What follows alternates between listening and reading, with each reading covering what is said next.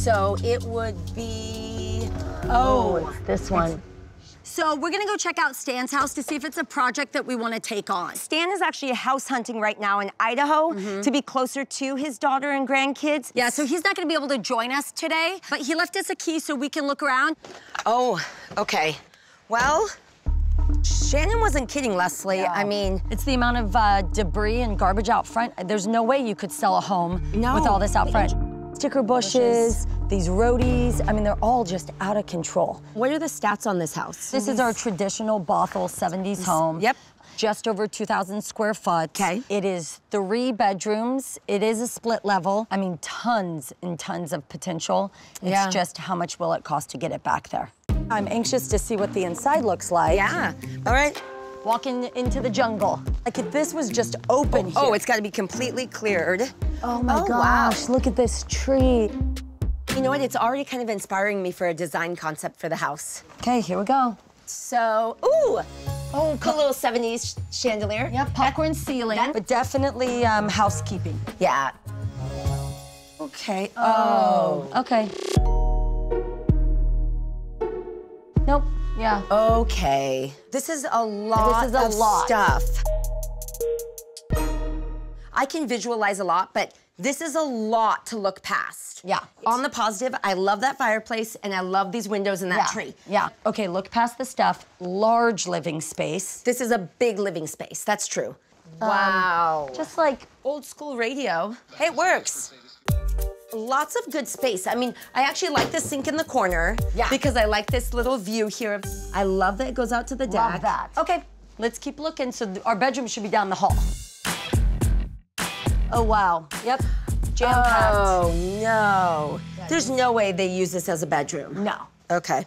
Do you have a minute to talk about Stan's house yesterday? Yeah. Honestly, my biggest concern is if we invest money into it, the value coming back out. A hundred percent. I mean, he was selling at 500. Yep. Nobody's touching it. I have found comps, and these are all, you know, two around 2,000 square foot, uh, 1,800 square foot, and Split level. 2,300. All split level, all Bothell, two car garage, similar lot sizes. Here is 745. Okay. Here is 735. Nice. Here is uh, 790. So we absolutely have the ability, and these are completely renovated, sold in 12 days. And that's right around the corner. Right around the corner. I would love to take on this project. So let's go ahead and call him. Okay. Hi, Stan. Hi! Is that the twins we're looking at? It is. We are twins. So, Stan, Lyndsay and I visited your house uh, earlier this week to take a peek at it. I was not lying, was I? No, no. There's a lot of stuff. Well, it wasn't all my stuff. For the most part, it was. Oh. Shannon, her mother, my mother, my dad. Well, you have been a very good storage unit. Yeah. You tried to sell it 500 with the condition nobody wants to take it off your hand.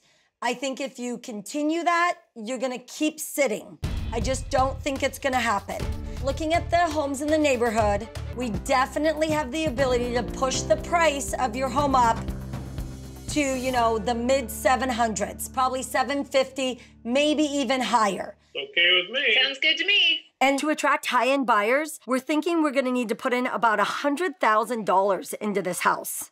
We'll need to open up the living room, remodel and update the kitchen and both bathrooms, as well as get that basement entertainment ready. We'll put about 15,000 into the bedrooms as well. And we'll need to add about $20,000 to give this house some curb appeal. That's a minimum of $150,000 difference. So that would be $75,000 to you, $75,000 to us, because we would split that difference. Sounds amazing. We're getting a thumbs up. So if you feel comfortable, we're gonna give you two weeks to get your stuff out that you want out for your new place in Idaho. And then we will come in and we will take care of the rest. Feel good. Yep, like Let's it. go. Bye.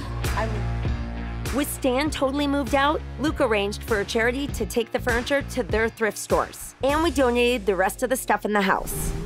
Now that the house is empty, I have a better idea of how I want to take the house out of the 70s and into a more contemporary, high end market.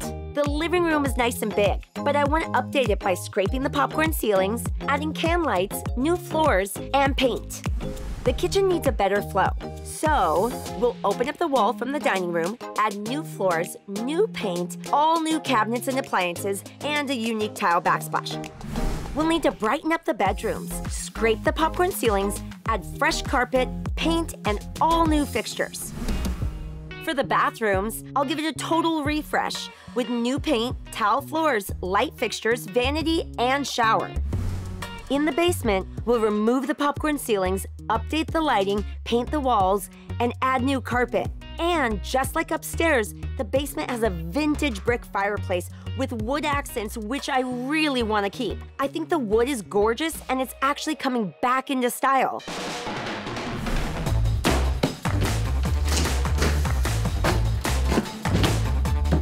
And Jeff is finally kicking off the demolition. We're making good headway at Stan's house to give life back to this lackluster home. We've removed the popcorn ceilings and we're giving the walls a much needed fresh coat of paint. And now that the kitchen cabinets have arrived, it's time to check in with Jeff to hone in our earthy contemporary design for our potential upscale buyers. Turning Stan's house into that showroom ready house that's gonna bring in those upscale buyers has been a huge project. On the exterior, the sod is going in, the front deck is being built, and we're installing the new metal and cedar railings, which will be really impressive when buyers pull up to this house. Inside, the main bathroom is getting Berthy Brown tiles installed as well as a glass shower wall, which is really going to make the bathroom feel bigger and more spa-like. But we still have a lot to do to make it stand out on the market for a higher listing price. We're literally staging in two days, and you have me hanging stuff again. Since the dining room feature wall turned out so cool, I thought maybe we could try a little variation of that in the main bedroom. I had Dan give us a painted box that is the size of a queen Okay. bed. I would love to mimic again what we did in the dining room and create a headboard or again a piece of interest above the bed. Okay. So pre-painted these boards. Yeah. Okay. So we'll come from the top and we'll come from the bottom on this one. So together. Okay. So do you want to start on that side then? Since I have these ones laid out. Yeah. I did it less like dramatic as the dining room where it was just lacquered wood, but we painted. Yep. Because I wanted to be more subtle. I think it's gonna look better as a headboard being uniformed. Yeah, agree. Perfect.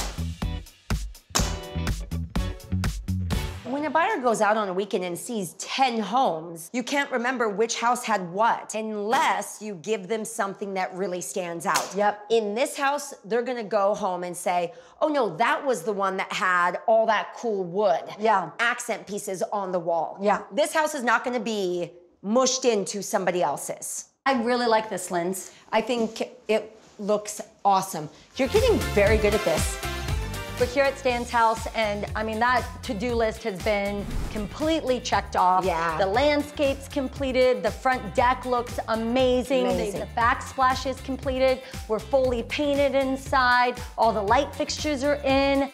We are at the tail end of this project. Yes. We're ready to go through, check things off our list, kick people out, and start staging. Are you ready? I'm ready. Just a minute. Okay. Oh my God, this might be them. Wow. Oh, Stan's not smiling. Oh my gosh. Look at Stan's face. Hello. Hello? You guys, Are you shocked? it looks so good.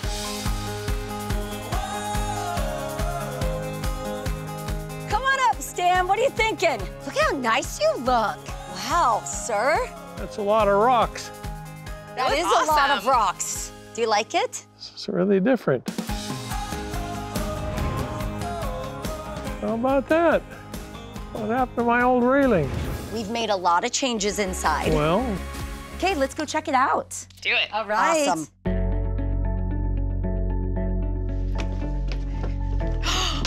You guys, What do you think? you herringboned it. I love it. We wanted to give a little bit of a design to it. looks good. Yeah, it looks great. Well, and our kind of style here is earthy contemporary, and you'll see that throughout. But this is kind of more of that contemporary feel with the Yeah. metal and the herringbone. So far, so good. Yeah. You like the deck? I do very much. Yeah. Yep, it needed this so bad. Okay, let's Here go to the kitchen. Kitchen time. I will Oh follow my you. gosh. Here we go. This is not the same house. What do you think, Stan? I'm trying to adapt. This is so crazy. This is like the Twilight Zone. Holy cow. Is Holy Cow good? Stan's not exactly the most reactionary person. Emotional. Over the top. Yeah. I kept on going, Stan. Enthusiastic. Stan, give me a little more. And it was, whoa. Whoa. You I like guys. it. Yeah.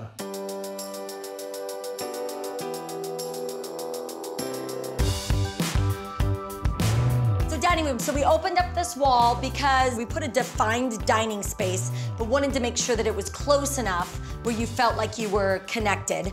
And then Leslie did this. I built oh. this Oh. wood wall. She did that little. You did that? I did. It was Lyndsay's idea, and then I had to put it together. What do you like best so far, Stan? Everything. It's just the color combinations and stuff that you've got. Uh, missing this wall and opening all this up is really, really nice. Yeah. Okay, let's see what your bathroom looks like, Stan. Wow. Whoa.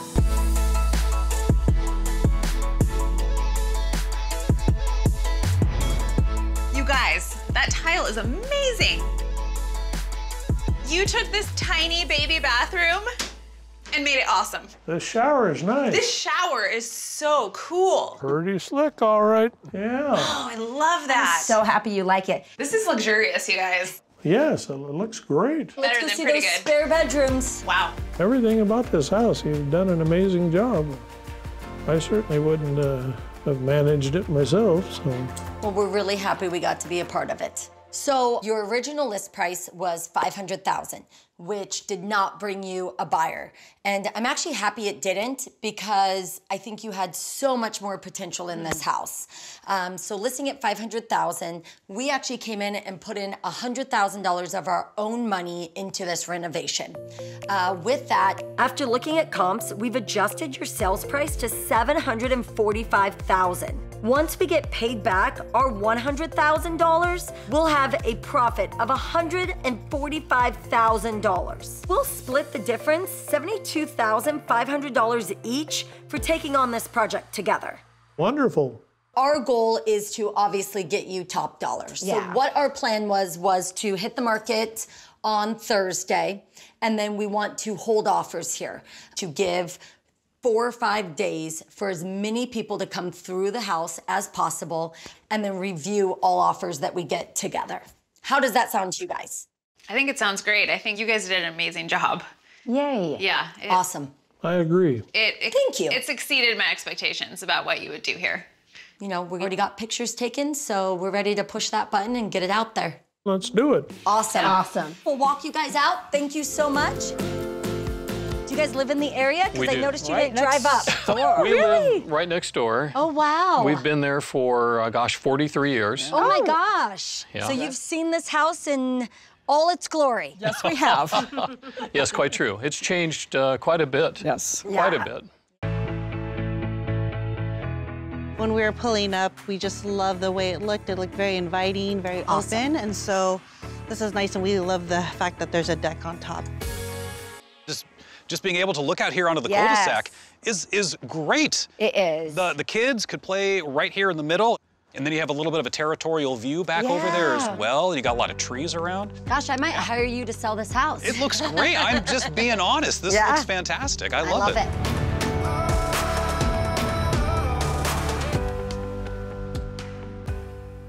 I text her and she has Stan over at her house, so they're ready to talk. Here they come. Hey! How are you? We're fabulous. As you know, we were gonna hold offers until Monday, but we're only three days in right now, and we already have five offers in hand. And one offer that I feel like is so good that I really wanted to get in front of you guys. This offer is at 855. Excellent. Wow. Excellent. Seriously? Yes. They um, are a younger couple. He's in the tech industry, so exactly what we anticipated. They want to close in 30 days. I mean, really, about as phenomenal of an offer as we can get as far as the whole package is concerned. Yay. Wow. Do you want to take this offer? Well, I, I hate to waste a fabulous offer. I'd say take it. Awesome. Yeah.